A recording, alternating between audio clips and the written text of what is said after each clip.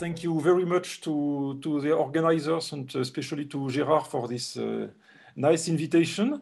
Um, oh, I see uh, this is the last page, so I have to jump to, to the beginning. Sorry for that. Okay, here we go.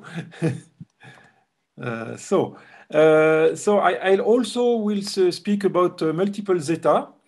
Uh, so, um, thanks to, to Min's talk, uh, I, I, I, will go slightly quicker on, on, on, the beginning. So, um, as you know, here are the multiple zetas. So, these iterated sums uh, and uh, if you take, if you speak about multiple zeta values, the nj's are positive integers. And even uh, if you want the series to converge, you need n1 bigger than 2. Um, okay, you can go slightly beyond. You could uh, go to nj's uh, positive or negative, but you must have n1 plus, etc., up to nj strictly bigger than j for any j from 1 to k. Okay, so as you know, the integer k is the depth, and the, the sum of the nj's uh, is the weight. Okay, so um, let me just uh, make a small uh, historical survey, but for, for, an old one. I mean, uh, uh, I start with uh, Euler in the 18th century. he knew multiple zetas in depth one and two, and he gave a lot of relations between them not all. Uh, we, we know some some uh, author relations now, but uh, up to I think 15 years ago, uh, the only ones we, we, we knew uh, came already from Euler. And then uh, there's a big gap until the 1980s, but this gap is not completely empty because um, so, uh, for example, Min uh, indi indicated me that uh, you can find some examples in higher depth in the work of uh, Nielsen in the beginning of the last century. And uh, then, uh, up to my knowledge, the multiple zetas appear first as a whole in the work of Jean Écalle in 1981, Les fonctions résurgentes, volume 2. Okay. Um, so now, uh, what about the multiple zeta function? Now, uh, the arguments can be complex. Uh, this is the same sum, except that the ZJs are complex numbers. And uh, then uh, it turns out that this is a meromorphic function in k variable. And this is the work by these three Japanese researchers, Akiyama, Egami, and Tanigawa. the series converges, provided the real part of the, these partial sums are strictly bigger than j for any j. And uh, you can uh, extend uh, meromorphically to, to the whole c to the k with a subvariety of singularities, which is described as follows. Um, in depth k, the singular locus uh, of, of, depth k is, is defined uh, as follows. Uh, this is those uh, ZJs such that uh, either Z1 is equal to 1 or Z1 plus Z2 belongs to this set. You, you, jump from 2 by 2 except 2, 1, 0 and uh, or uh, there exists j from 3 to k such, such that uh, this partial sum is smaller or equal to j. Okay, so you, you can see the difference between depth 1, 2, and 3. It's related to the fact that uh, the single zeta function uh, can be continued uh, analytically everywhere except at 1. And uh, for double zeta, um, these holes come from the fact that Bernoulli numbers, the odd Bernoulli numbers, uh, all vanish except the first one. Okay, so uh, I'll describe uh, double shuffle relations because uh, we will see some generalizations of those uh, later. Uh, of course, you know that the product of two single zetas is a sum of three terms, two double zetas and a diagonal term, which is uh, again a single zeta. And of course, the, the proof is here. You, you cut the, the domain into three parts, M1 bigger than M2, M1 smaller than M2, and M1 equal to M2. So the diagonal terms uh, uh, may uh, appear. Okay, um, I can describe uh, most general quasi-shuffle relation. So you, you, you, multiply two multiple zetas, one of depth p, one of depth q, and then you get uh, a sum of terms of depth p plus q minus something. This something, this small r, is the number of contractions you have in your term.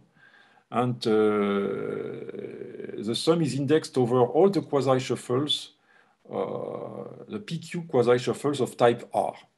Okay, and uh, these are surjections, sigma, from 1 up to P plus Q, uh, onto 1 up to P plus Q minus the type, subject to the same relations as uh, shuffles.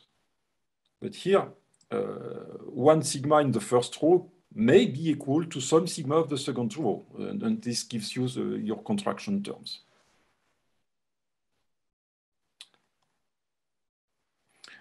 And here, the, the arguments in this uh, contracted uh, multiple zeta uh, you, are defined by the sum of uh, this sum here. And this sum, if you think about it, it contains only one, maybe two terms, but not more. Okay, so uh, you probably also know the integral representation of multiple zeta values uh, due to Maxim Kontsevich and uh, quoted by Don Zagier in the, his 1994 uh, paper. Okay, so uh, the multiple zeta value, here now uh, the ngi's are positive integers, is defined by this iterated integral.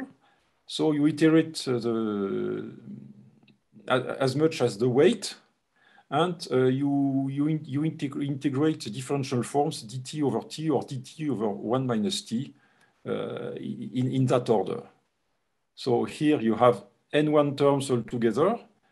Uh, after that, you have n2 terms all together, and then here nk terms all together. And uh, you have differential forms dt over t, except uh, the, the, the last of the packet is dt over 1 minus t. So as a consequence, you have a second way to express the product of two multiple zetas uh, as linear combinations. Uh, these are called the shuffle relations. For example, zeta 2 multiplied by zeta 2. It is a, a, a quadruple uh, integral uh, over of, of this differential form, and you, you integrate over the product of two simplices, and this product of two simplices uh, decomposes into six uh, four-dimensional simplices, and then you get six terms, four times zeta of 3, 1, plus two times zeta of 2, 2. Okay, the regularization relations uh, are uh, a bit more funny. Um, the simplest one is, uh, was already known by Euler. Zeta of 2, 1 is equal to zeta of 3. And uh, how you, do you obtain it? You use zeta of 1. Okay, you, you will say to me zeta of 1 doesn't exist. Okay, this is just an indeterminate. So, of course, in, in, uh, in Min's-talk, uh, somehow uh, you can decide that uh, zeta of 1 is equal to 0. But here it's just an indeterminate. And uh, then uh, if you write down zeta of 1, 2 or zeta of uh, anything starting with a 1, it's also divergent. So, so now I, I write down this product uh, in two different ways. So the upper line uh, is just by formally using the quasi-shuffle uh, relation. And the bottom line is just formally by using the shuffle relation. And then if you, if, you equate the two members, the red terms uh, disappear, like in a chemical reaction. uh, and uh, you get, uh, of course, uh, this one disappears with that one, and you get the Euler's relation, zeta of 3 is equal to zeta of 2, 1. Okay, so uh, here I briefly explained the double shuffle relations, or uh, double shuffle plus regularization. And uh, it is conjectured that uh, no other relations occur. Uh, for example, you have duality relations coming from the change of variable tj goes to 1 minus tj in, in the integral representation. And uh, these duality relations should be deducible from the double shuffle. For example, this is the first example of duality. And uh, as we said, uh, we, as, as we have seen, it's also double shuffle. And, but you have uh, all other duality relations like this, and uh, in principle, it should be expressible. But as far as I know, uh, it's, it's uh, still an open question. do these duality relations come from double shuffle? Okay. yeah. Okay, so um, multiple uh, polylogarithms in just in one variable. Uh, so uh, Min al already explained us, so I go very quickly here. The multiple polylogarithm at some t between 0 and 1 is defined by this sum or it's defined by this, uh, this integral. So there's the same for uh, than uh, for multiple zetas, except that uh, instead of going from 0 to 1, you stop at t.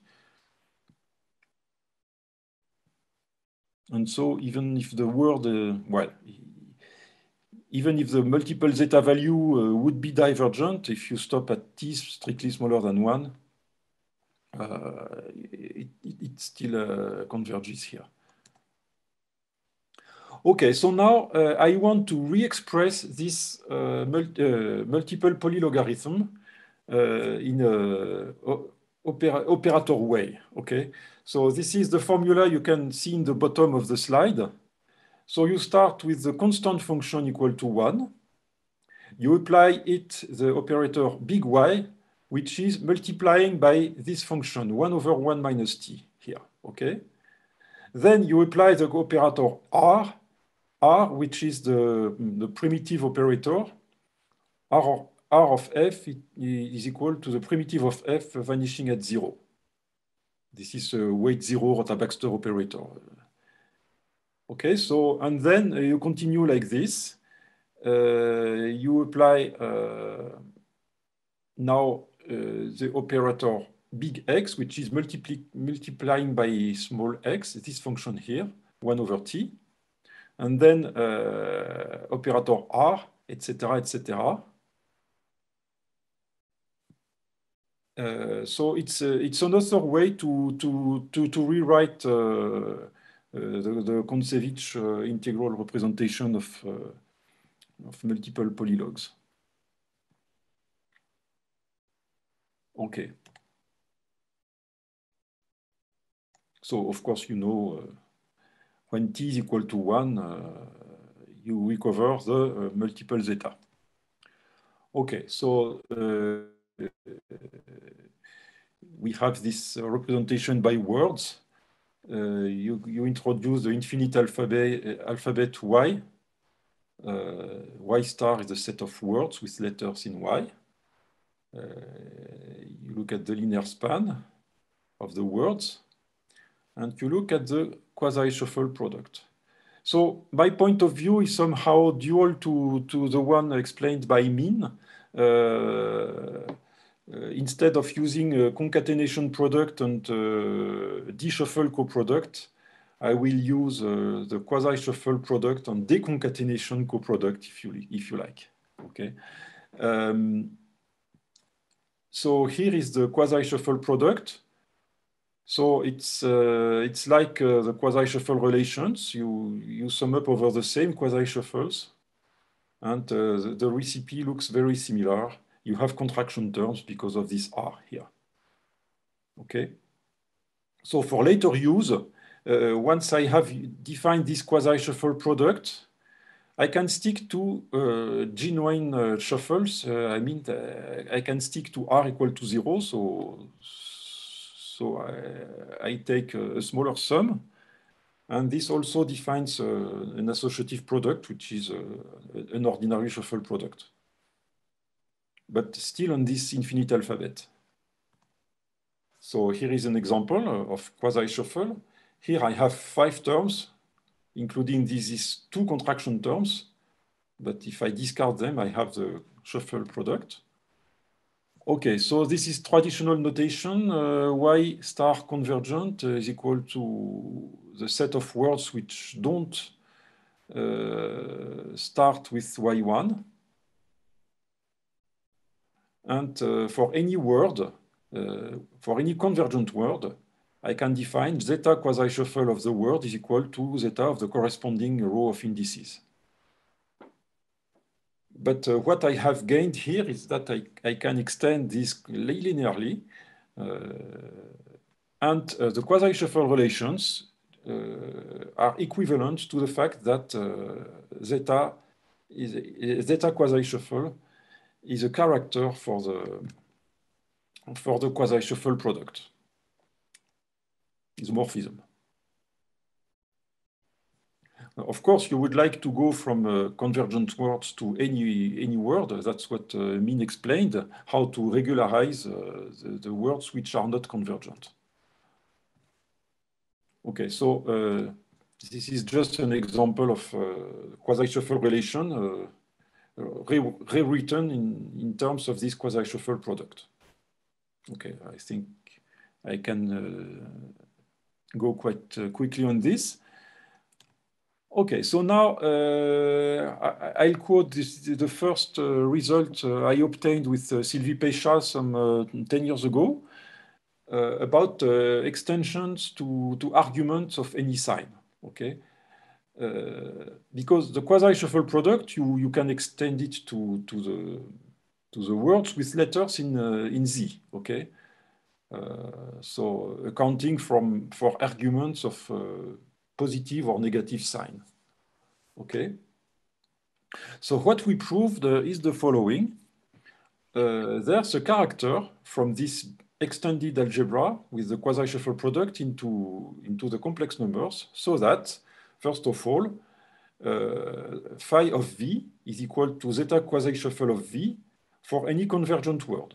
Okay, uh, secondly, uh, for any words uh, with letters positive or negative, such that the multiple zeta can be defined by analytic continuation, then the character coincides with this analytically extended value. So in particular, phi of minus n is equal to zeta of minus n. So minus Bernoulli uh, n plus 1 over n plus 1. Uh, so at depth 2, phi of minus n minus n prime is equal to uh, zeta minus n minus n prime. So uh, there's, a, there's a value here. Uh, if n plus n prime is odd, and it's, it's, given by this expression here in terms of uh, Bernoulli numbers. So uh, we got a, a table of, values in depth 2. And you have two kinds of values.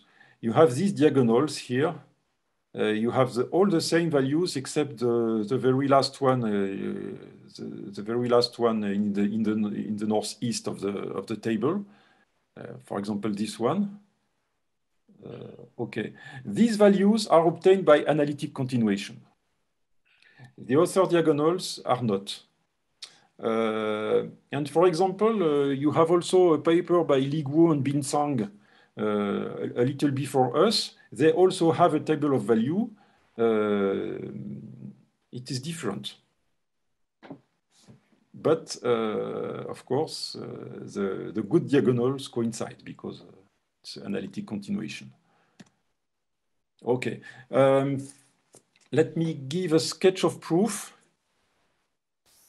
Uh, so it's a, it's a Connes-Kreimer uh, regularization and renormalization, basically. Okay, so uh, we have the quasi-shuffle product. Together with deconcatenation, you get a connected filtered Hopf algebra, uh, the filtration by the, the depth.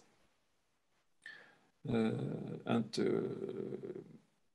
then uh, I extend this Hopf algebra to, the, to letters in, uh, in the complex numbers. So I extend it uh, much more.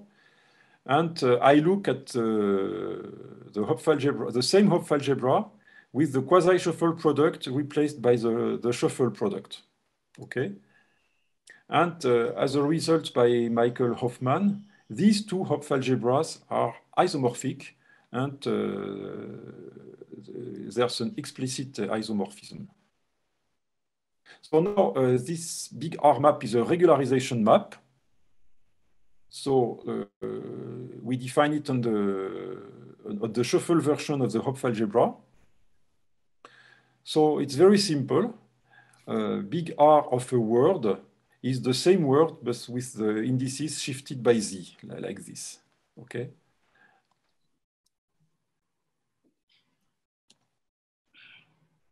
And then we, we will use this uh, Hoffman exponential with this, which is the Hopf isomorphism.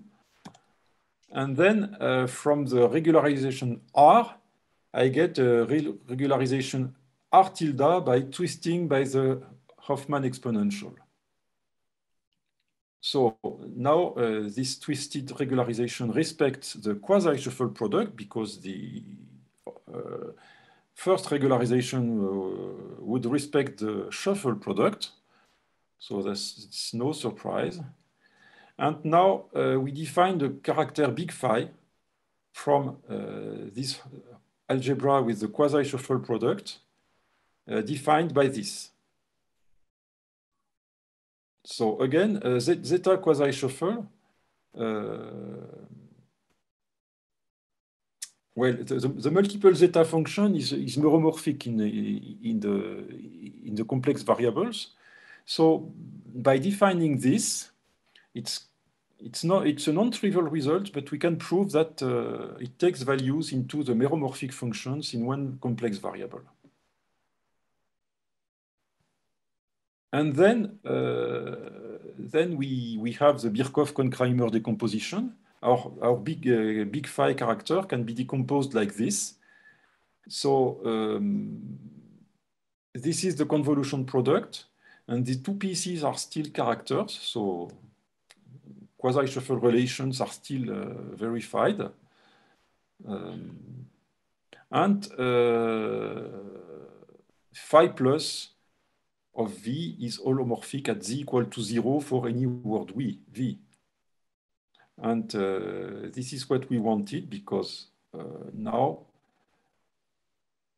uh, okay, these are the these are the the formulas to get uh, the two pieces, phi, minus and phi plus. And uh, maybe I recall quickly how it works. Um, your uh, meromorphic uh, function algebra is split into two parts, the pole part, A minus, and the uh, formal series part, A plus. Okay, and this is so-called minimal subtraction scheme in physics. And um, then you can uh, define recursively phi minus and phi plus with these, uh, these formulas here. The red term is called the Bogolyubov preparation map. And then um, if you take the opposite of projecting on the pole part, you get uh, so the counter terms. And uh, projecting on the formal series part gives you the renormalized uh, character. And then uh, the character we, we look for, you just evaluate the plus part at z equal to zero. This, you can do. And uh, it still uh, verifies quasi-shuffle relations. Okay, so uh, we were quite happy with uh, this result. And then um, a few years after that, uh, we wanted, with Kurusch Ebrahimi Fard and Johannes Singer, we wanted to describe all solutions of the problem describe the set of characters which extend multiple zeta functions in, in that sense, I mean, uh, by uh, respecting the quasi-shuffle uh, relations. And uh, there's a renormalization group behind this. Um, okay, and um, yeah, let me let me start with a very general result. Uh, I start with a commutative connected filtered Hopf algebra. Uh, and uh, A will be any commutative unital K algebra, and GA will be the group of characters with values in A. Given the product is given by the convolution, and uh, we have this Co-Nilpotence property, uh, which uh, it is crucial to make some uh, recursive arguments. Okay, so the proposition goes as follows. Uh, you suppose that big N is a right co-ideal with respect to the reduced coproduct. The reduced coproduct is this delta tilde when you start from delta and uh, extract the two extreme terms. Okay. And uh, and then uh, if you look at this set TA, you look at those uh, characters alpha which uh, vanish uh, on, uh, on the right co-ideal. And this is a subgroup of GA. And the proof is quite simple. It's a five-line proof. Uh, essentially, you, you want, if you, if, you, if you take two elements alpha and beta in the TA, you want to prove that alpha beta minus one is still in TA. Uh, to prove it is a subgroup. And uh, essentially, you say that uh, the inverse of a character is given by composition by the antipode. You, re you replace the antipode by the, its recursive expression, and then you, you end up with uh, alpha minus beta of uh, W prime, okay, here. And uh, now you, you use the right, uh, right co-ideal co property to say that uh, this vanishes, okay? So we, we, call it the renormalization group associated to the co-ideal uh, n. And then comes uh,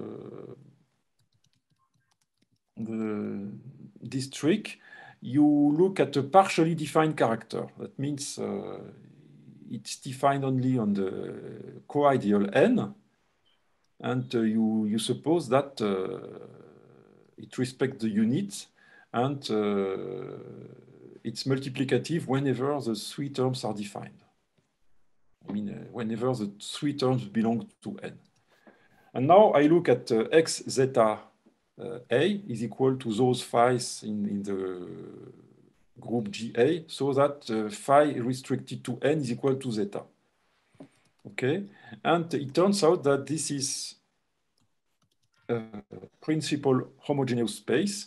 Uh, so this uh, we, we proved by uh, with Kurusch Ebrahimi Fard, Johannes Singer, and Jianqiang Zhao. This is a principal homogeneous space.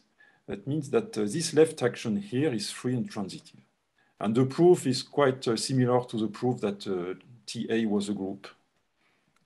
Okay, I'll skip this. Okay, now uh, we apply this general framework to our multiple zetas. So the base field is the rational numbers. Our Hopf algebra is uh, this one with the arguments of any sign. I remember you. And uh, the target algebra will, will be just the complex numbers. The right co-ideal is the linear span of non-singular words. That means that uh, the words which write down like this uh, and uh, which fulfill these three conditions, which are uh, the contrary of the singularity conditions of the beginning of the talk, right? So n1 has to be different from 1, n1 plus n2 uh, has uh, to be outside this set, and this partial sum uh, has to be outside this set. Okay, and the, this right, okay, this big N is obviously a right co-ideal for deconcatenation. If you look at these three conditions here, and it's, uh, there's a supplementary property. It's also stable by contractions like this. Okay, you you you gather some some con consecutive letters and you you sum them up like this. And uh, n is uh, stable by these properties. Okay, so sigma will be the complementary of n. Okay, and so uh, sigma k will be uh, those words so that the corresponding row belongs to the singular locus at depth k. And uh, the partially defined character zeta will be zeta, okay? will be uh, our multiple zeta values, either by convergence of the iterated sum or by uh, analytic continuation. It can, it can also happen. Okay, so now the set of all solutions to our initial problem is given by uh, the renormalization group acting on one solution. Fortunately, we, ha we had proved with uh, Sylvie Paycha that one solution exists, okay? So we investigated uh, a little bit this group just to say that it's very big. It's, uh, it's infinite dimensional. Uh, if you look uh, already at depth three, you, you, see uh, there's a lot of room in, inside it. Okay, so now I jump to Q analogs.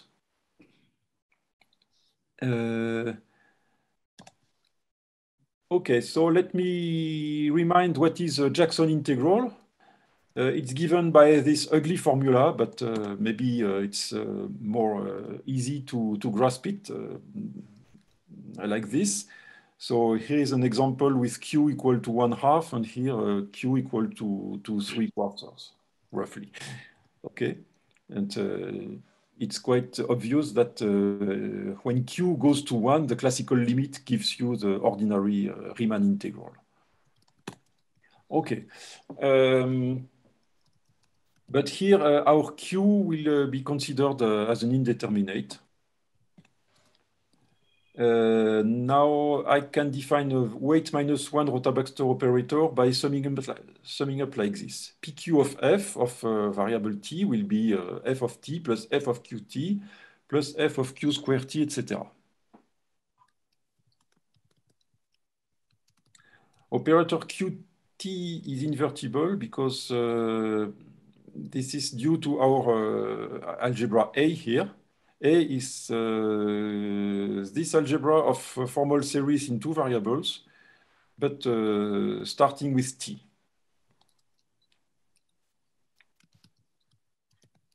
Okay, and uh, PQ is invertible, and uh, the inverse is given by the, the Q difference operator, f of t minus f of qt.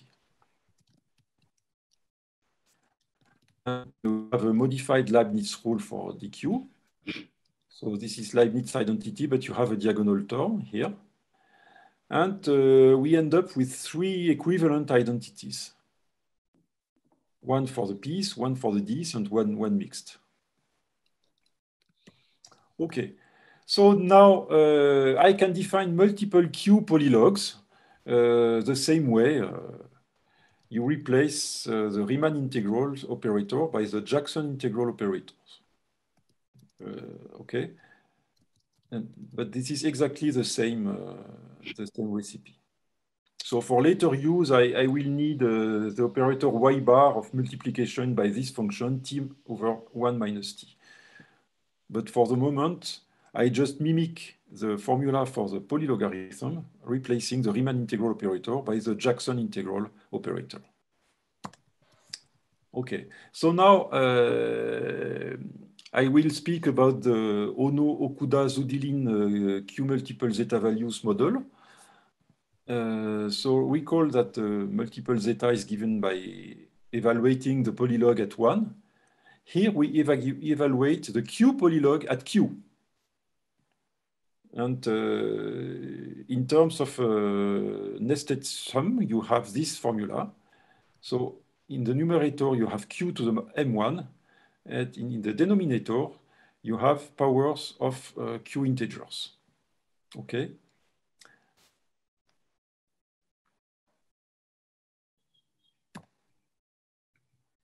Okay, so uh, for convergent uh, words, uh, when q goes to 1, you recover the ordinary multiple zeta. When q goes to 1 in a reasonable way, okay? Um, okay, we, we have an alternative description in terms of the operator PQ. Ah, okay, so uh, ZQ bar is the modified multiple zeta. This is ZQ multiplied by 1 minus Q to the minus the weight. Okay, so this is this uh, iterated sum, and it is given by this row of operators. But here I use the operator uh, big Y bar, which is the operator of multiplication by this function. Uh, we have other models for uh, QMZVs. Uh, I just mentioned a few. The Schlesinger model, it's the same, but you evaluate the Q polylog at 1, not at Q.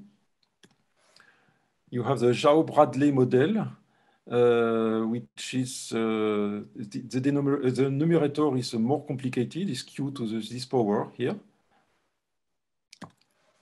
And you have the Bachmann-Kuhn uh, multiple divisor uh, functions model.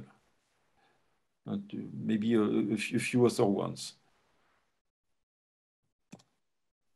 Okay, but uh, we like uh, this uh, model by Ohno, Okuda, and Zudilin because it's defined for arguments of any sign.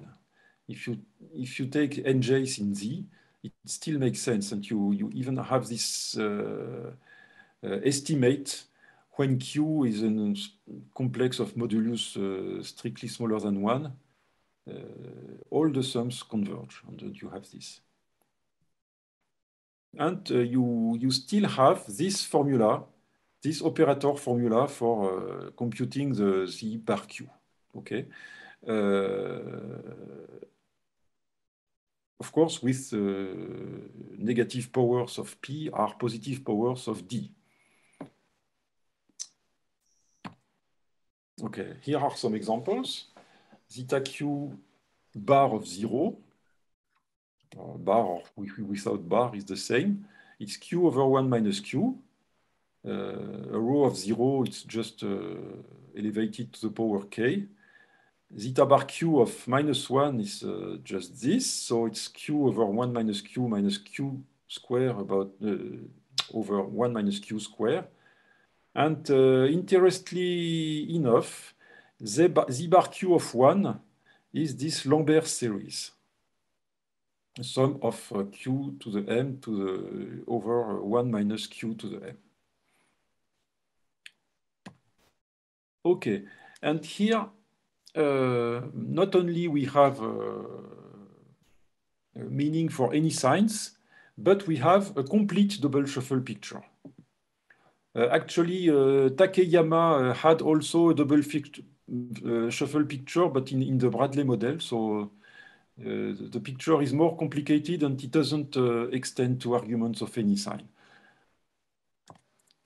Okay, so first of all, I'll describe the Q-shuffle relations.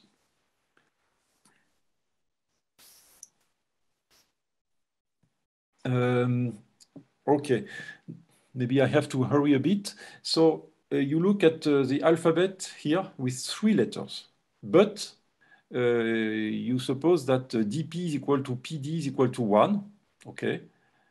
And, uh, and we have a third letter y.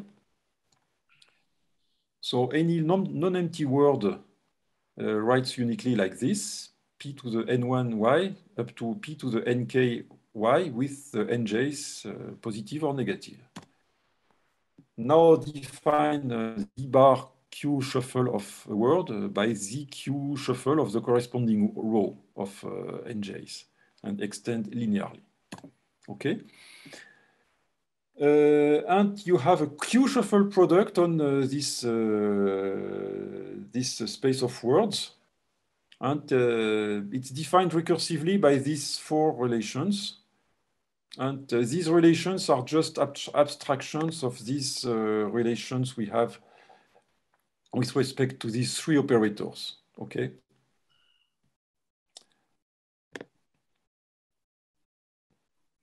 And uh, we were able to prove uh, that, that, the product is commutative and associative. And the Q shuffle relations uh, are just uh, written like this. Uh, Z bar Q shuffle is a character for this shuffle product. So we have also Q quasi shuffle. So now uh, Y tilde is the infinite alphabet, but in both directions with uh, N in Z. Uh, the internal product is the, the same. Uh, Zi contracted with Zj with, uh, give you, will give you Zi uh, I plus J. y tilde star is the set of words with letters in Y tilde. Star will be the ordinary quasi-shuffle. And uh, the, our quasi-shuffle product is uh, the ordinary quasi-shuffle moved by this operation here.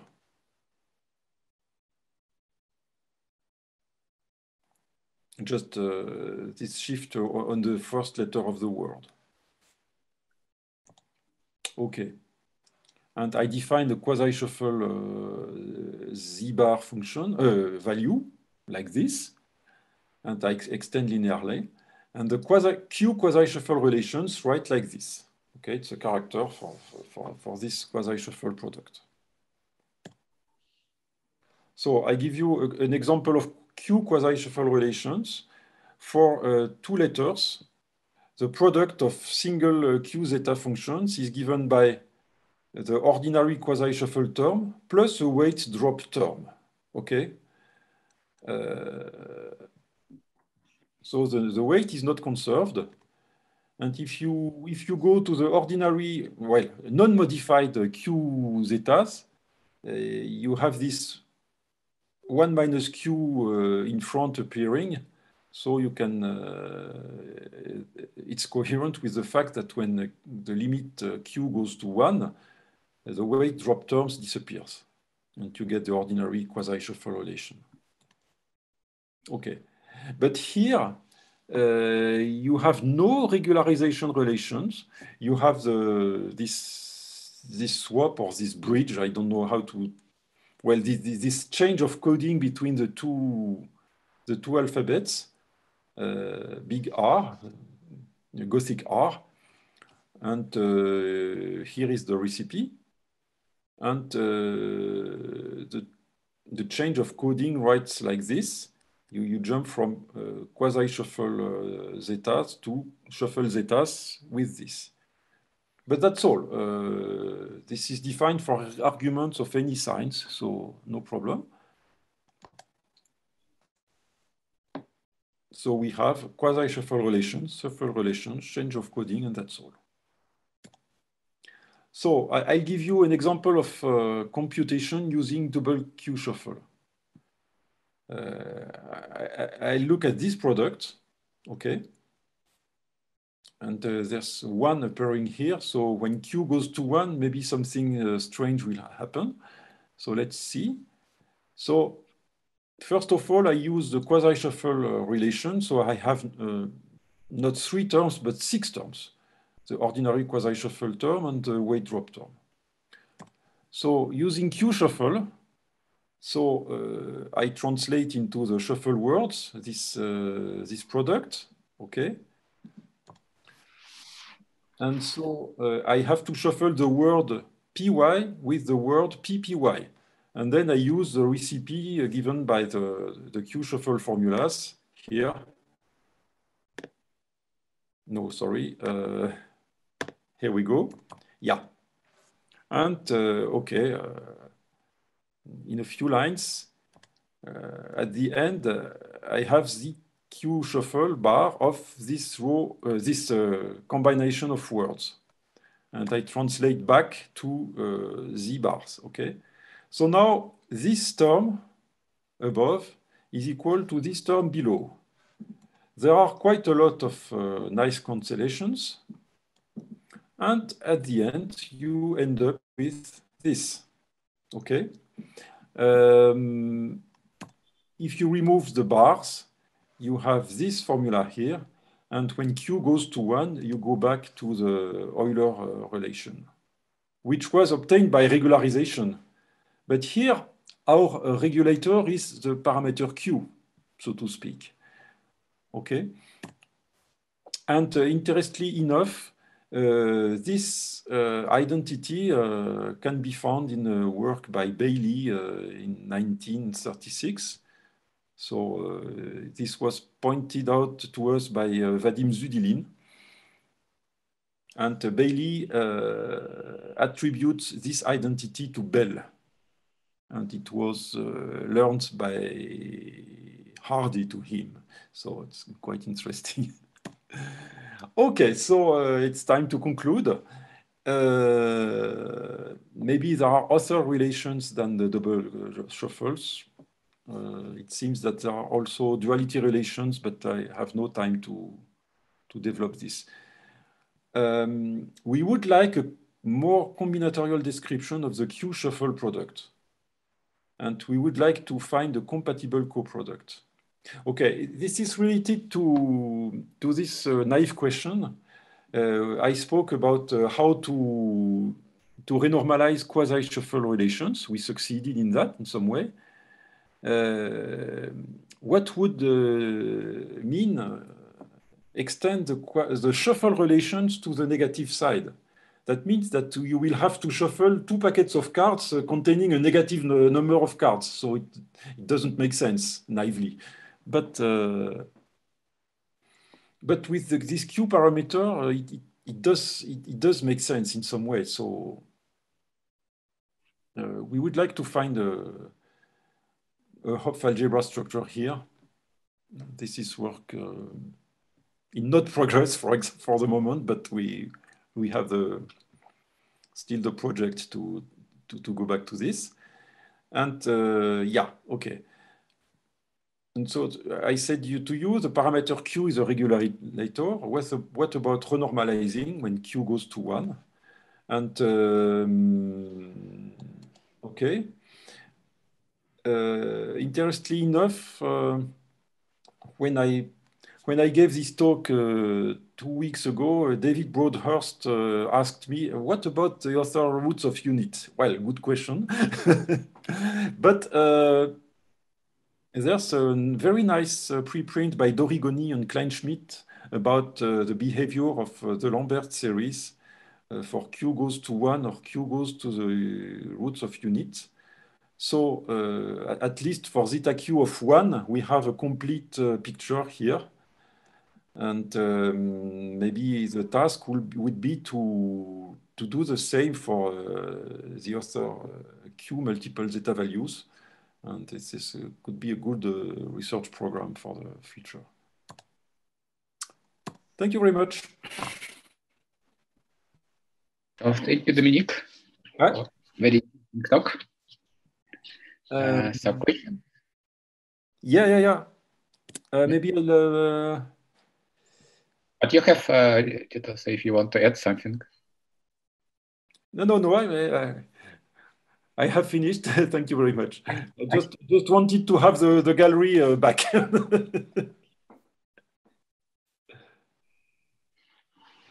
okay, questions? I have so, a question. Yeah, okay. Let's go. For the, the negative uh, the, uh, multi-analysis, uh, zeta at uh, negative analysis, you say that you obtain by uh, analytic prolongation.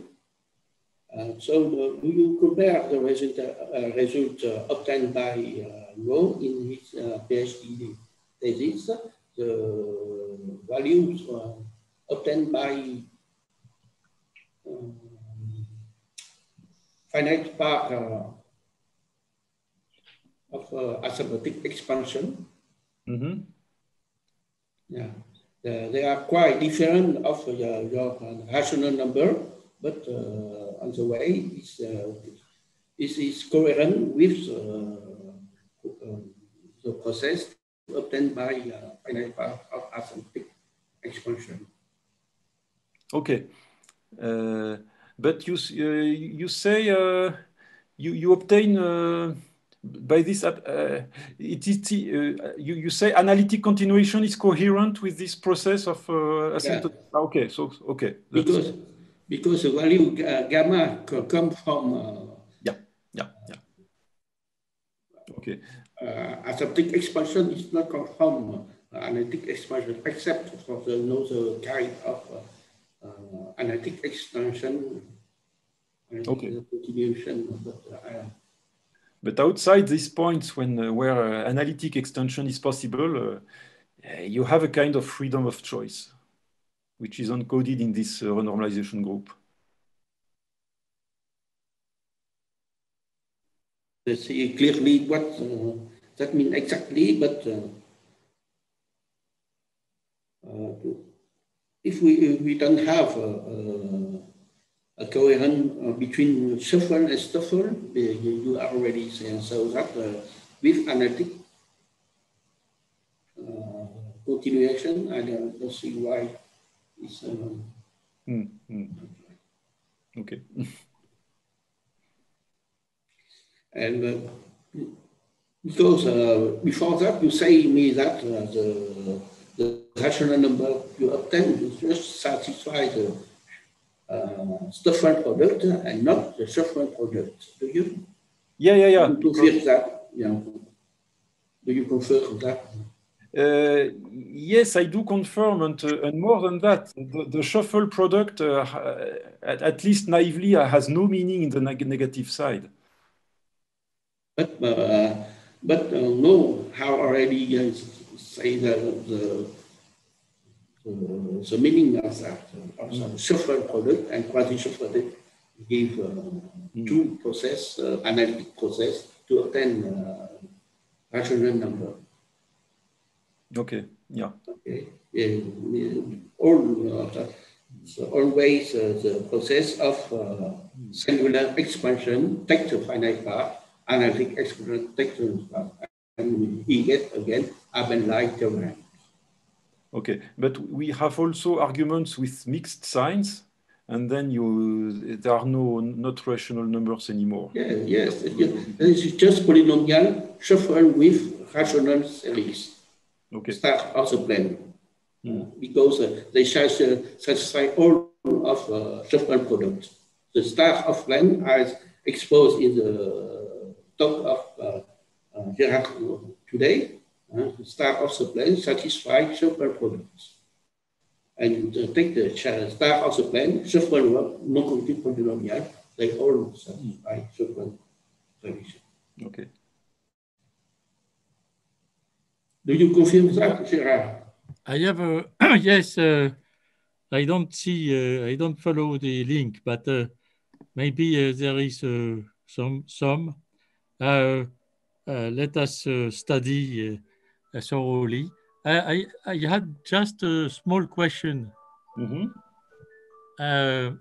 you spoke about Q-stuffle product. Yeah. Oh, sorry.